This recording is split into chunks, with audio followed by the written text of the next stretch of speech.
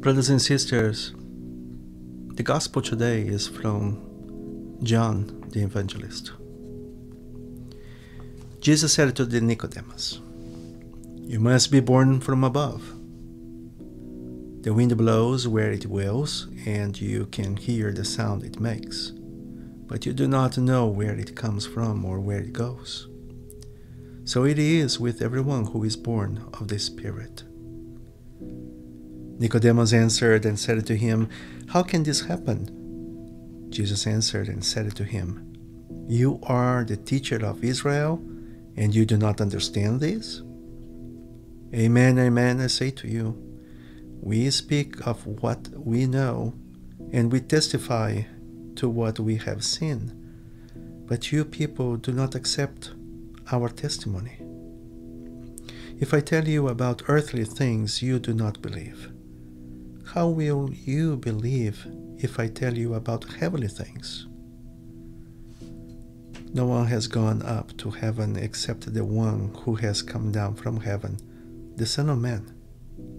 And just as Moses lifted up the serpent in the desert, so must the Son of Man be lifted up, so that everyone who believes in him may have eternal life. Jesus appeared to the eleven and said to them, Go into the world and proclaim the gospel to every creature. Whoever believes in and is baptized will be saved. Whoever does not believe will be condemned. These signs will accompany those who believe. In my name, they will drive demons, they will speak new languages, they will pick up serpents with their hands, and if they drink any deadly thing, it will not harm them. They will lay hands on the sick, and they will recover. Then the Lord Jesus, after he spoke to them, was taken up into heaven and took his seat at the right hand of God.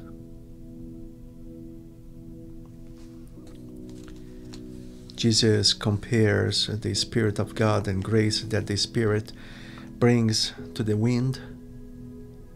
The wind blows where it wills. You hear the sound that it makes, but you do not know where it goes or it comes from. So it is with everyone begotten of the Spirit.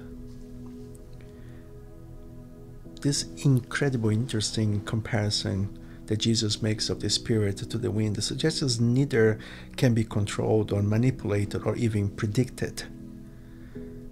The Spirit is free gift of a loving God. And God loves surprises, especially surprising us. Another word for this is grace. And grace doesn't fit nicely in Nicodemus' world view and in many of our lives as well. Nicodemus' confusion brings a sharp reaction from Jesus. You, a teacher of Israel, and you do not understand this? He says. This kind of interaction is the fruit of the Spirit unleashed by faith in Jesus. And it always starts when we are born again in water in spirit, our baptism. As if it wasn't enough, Nicodemus was confused. Jesus now says that he himself must be lifted up, as Moses lifted up the serpent in the desert, that all who believe might have eternal life in Christ. Of course, Jesus is speaking of the cross in this passage. From the blessed cross, the unpredictable and freely gift and giving spirit would be released for all who have faith. The good news in this, despite Jesus' frustrations, that the Lord does not give up on Nicodemus, nor does he ever give up on us, ever. Giving up on us is not in Jesus' dictionary. May you trust the presence of the Lord in your life and in the lives of those around you. May you bring that spirit of love and wonderful grace that the Lord provides to you to others. Trust in the Lord, be joyful, and stay in peace.